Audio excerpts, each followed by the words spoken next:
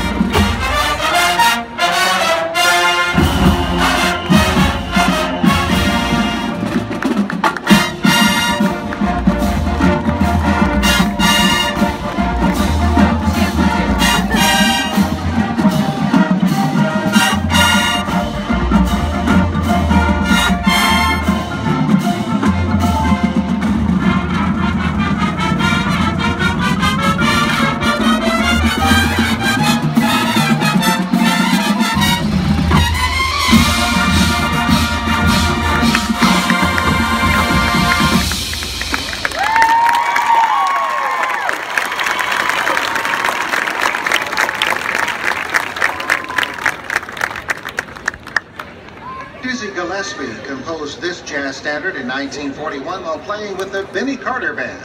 Gillespie titled it Interlude, but you may know it more as A Night in Tunisia.